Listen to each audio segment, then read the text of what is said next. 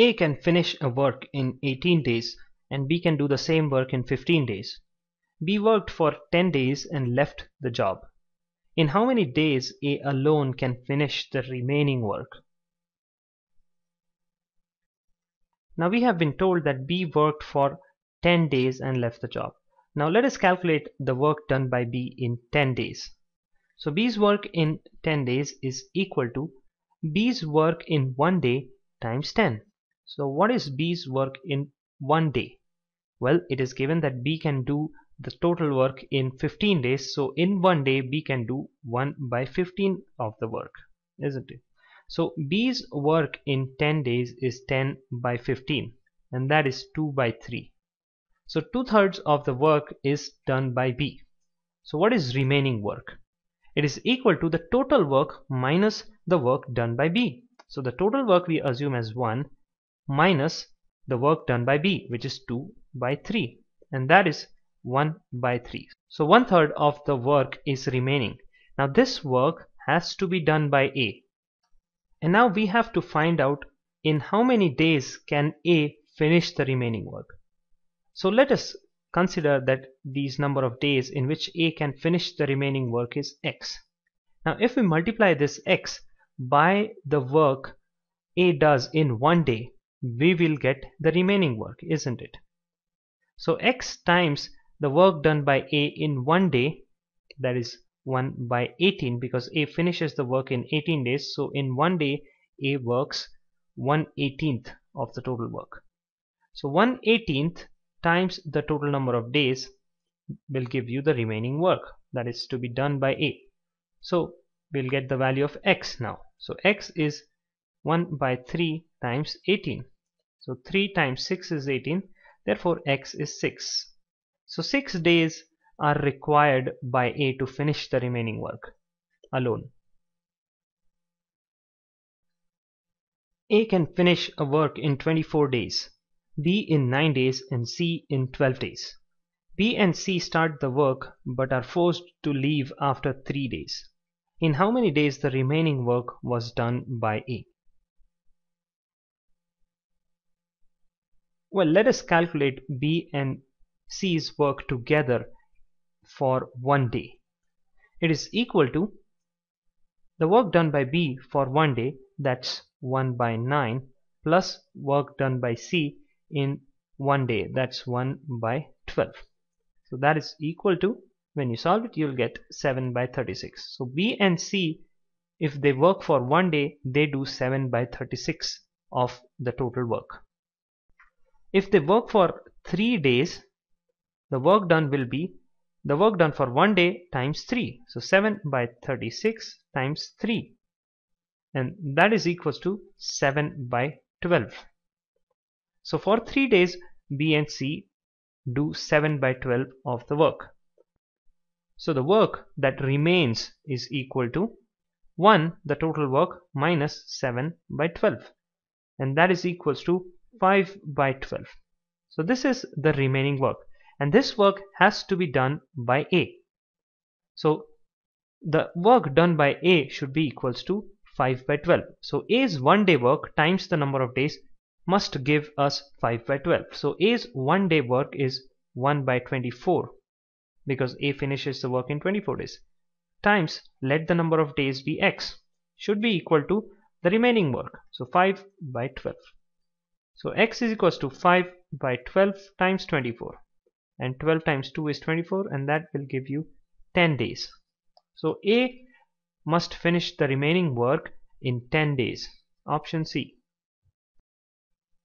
A and B together finish a work in 30 days. They work together for 20 days and then B left. After another 20 days A finished the remaining work. In how many days can A alone finish the job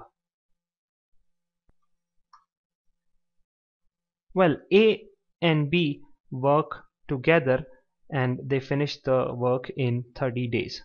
They have worked together for 20 days and then B left. So now let us calculate the work done by A and B together for 20 days.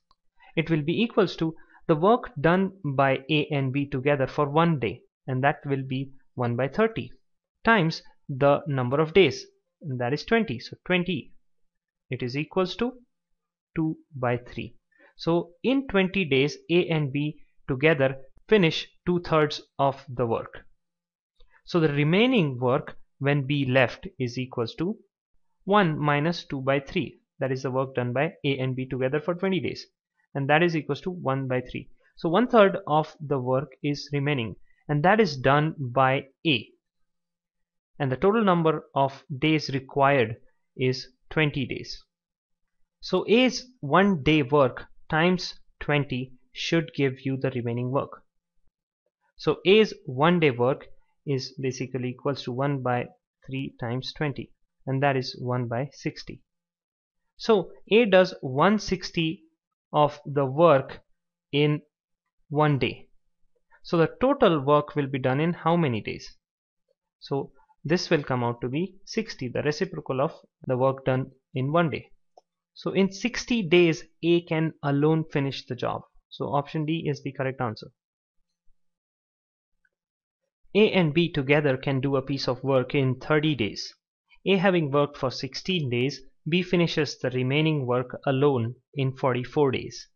In how many days shall B finish the whole work alone? So if A and B together work, then they complete the work in 30 days. This is given to us. What again is given to us is independent time periods of A and B. And A works for some time and then B works for some time. They don't work together. So what we can do is we can consider A's one day work as X and B's one day work as Y. Now we know that A and B if they work together they do it in 30 days. So A and B's one day work working together will be 1 by 30. So 1 by 30 and this is equals to A's one day work plus B's one day work right. So X plus Y. So this is one equation that we've got. Now also we have been given that A worked for 16 days and then B worked for 44 days. So the total work done is actually let me write it total work done is equals to it is 1 and that is equals to the total work done by A in 16 days and the work done by B in 44 days. So the work done by A in one day is X times 16 because he worked for 16 days plus the work done by B in one day is Y and he works for 44 days. So Y times 44 so basically what you have is 16x plus 44y is equals to 1. So this is equation 1 and equation 2. And when you solve these two equations, which I'm not going to solve to save time, you'll get x is equals to 1 by 60 and y is equals to 1 by 60. So we assume that B's one day work is equals to y and which is 1 by 60. So this is B's one day work so the total days required by B to finish off all the work alone will be the reciprocal of its one day work and that's 1 by 60's reciprocal is 60. So 60 days are required by B to complete the whole work alone. So option C is the correct answer.